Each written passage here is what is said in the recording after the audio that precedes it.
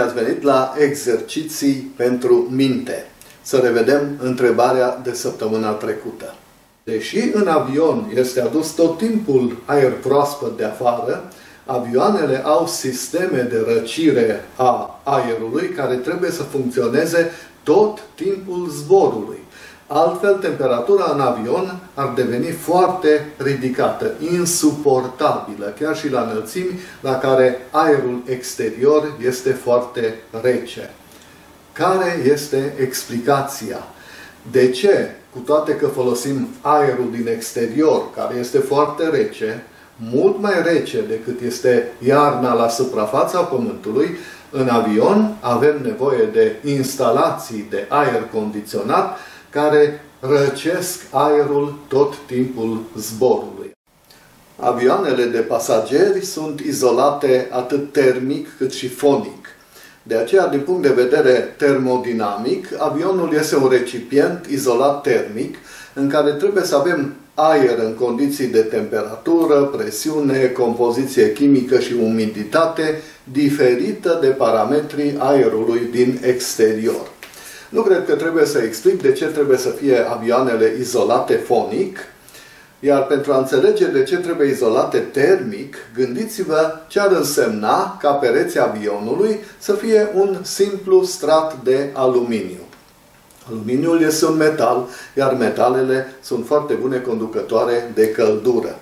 Am spus în videoclipul precedent că aerul la altitudinea de 10 km are de regulă temperatura cuprinsă între minus 50 și minus 90 de grade Celsius, așa că pereții avionului s-ar răci uneori până la minus 50 de grade și chiar mai puțin, ceea ce ar duce la o temperatură foarte scăzută în avion. Ca să nici nu vorbim de senzația extrem de neplăcută pe care ar avea-o pasagerii atunci când ar atinge acest perete metalic. Pentru a asigura condiții normale pentru pasageri, diferența de temperatură dintre interior și exterior depășește de multe ori 100 de grade, iar acest lucru nu se poate realiza fără o bună izolație termică. Dar nu doar temperatura trebuie să fie diferită în interior față de exterior. Am publicat de curând un videoclip în care am dedus o formulă cu ajutorul căreia putem calcula presiunea atmosferei la o altitudine dată. Dacă vă interesează, găsiți linkul în descriere. Din acest grafic puteți observa că la altitudinea de 10 km presiunea este cam 0,3 atmosfere. La o astfel de presiune, nici măcar cei mai antrenați alpiniști nu pot respira, ceea ce duce foarte repede la hipoxie urmată de moarte. De aceea, avioanele trebuie presurizate, ceea ce înseamnă că trebuie să fie cât mai etanșe pentru a se putea obține și păstra o presiune mai mare în interior decât în exterior. Iar ceea ce ne interesează pe noi este că această diferență de presiune dintre interior și exterior ne ajută să găsim răspunsul la întrebarea noastră. Radiația solară care intră pe geamurile avionului, plus căldura radiată de corpurile pasagerilor, de multe ori în număr de sute, plus căldura produsă de diferite aparate și dispozitive electrice, au ca efect încălzirea rapidă a aerului din avion, deoarece, n-ați uitat, el este izolat termic. De asemenea, etanșeitatea avionului face ca oxigenul din interior să fie repede consumat de pasageri, iar concentrația de dioxid de carbon și vapor de apă să crească foarte repede. Așa că trebuie să eliminăm tot timpul aerul viciat și să aducem aer proaspăt. Ventilația este vitală în avioane, deoarece avem sute de oameni într-un spațiu foarte mic în comparație cu, să spunem, o sală în care s-ar găsi acești oameni, așa că fără ventilație n-ar ajunge nimeni la destinație. Pe scurt, trebuie să lăsăm aerul cald, bogat în dioxid de carbon și vapor de apă, să iasă și să aducem permanent aer proaspăt și rece din exterior. Să scăpăm de aerul uzat e ușor. El iese de la sine prin supapele de aerisire, pentru că presiunea în interior este mai mare decât presiunea din exterior. Dar cum putem aduce aer proaspăt din exterior. Aerul din exterior nu intră de la sine în avion. Degeaba îi oferim o cale pentru asta. Degeaba deschidem geamul. Pentru că presiunea lui este mult mai mică decât cea din interior.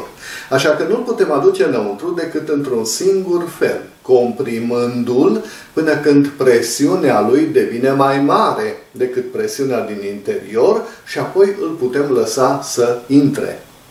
Numai că atunci când comprimăm un gaz, acesta se încălzește.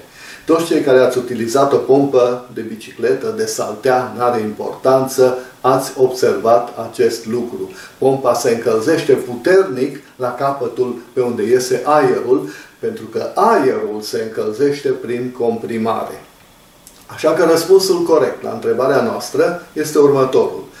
Aerul care intră în avion trebuie răcit, deși în exterior el este foarte rece, deoarece nu-l putem introduce în avion fără să-l comprimăm întâi, iar în procesul de comprimare el se încălzește.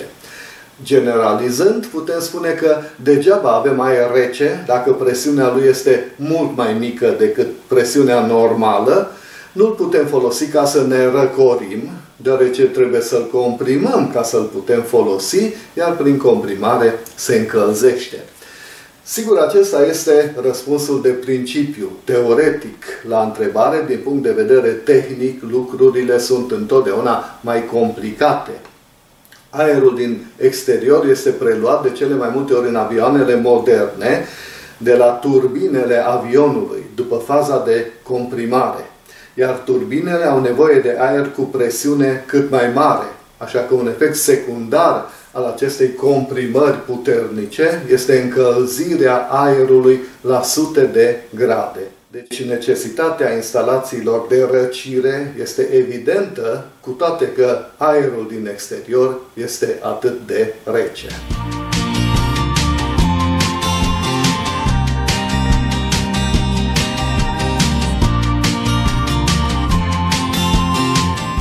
Și acum întrebarea de azi. Presupuneți că sunteți supuși următoarei provocări. Vi se arată două sfere care au aceeași rază, aceeași culoare, același aspect și aceeași masă. Când spun că au același aspect, mă refer la faptul că nu pot fi deosebite nici vizual, nici tactil, deoarece au la suprafață un strat din același material și vopsit în aceeași culoare. Dar există totuși o deosebire între cele două sfere, o deosebire legată de interiorul lor. Și anume, una dintre ele are un gol de formă sferică, așa cum vedeți în desen. Nu uitați, au aceeași masă, ceea ce înseamnă că pereții sferei care are un gol interior sunt făcuți dintr-un material cu densitate mai mare. Și mai înseamnă că nu puteți afla care este sfera plină și care este sfera goală folosind un cântar. Trebuie să aflați totuși care este sfera plină și care este sfera goală, să le spunem așa, fără să le distrugeți, evident. Aveți însă voie să folosiți absolut orice obiecte simple doriți. Spun obiecte simple ca să înțelegeți că nu puteți folosi aparate și dispozitive, cum ar fi un aparat röntgen. Dar puteți folosi orice obiect și orice substanță care se găsește în mod normal în jurul nostru într-o casă. Primiți doar un minut pentru a identifica sferele. Cum procedați? Puteți, evident, să propuneți mai multe soluții. Vă doresc, ca de obicei, succes pe săptămâna viitoare.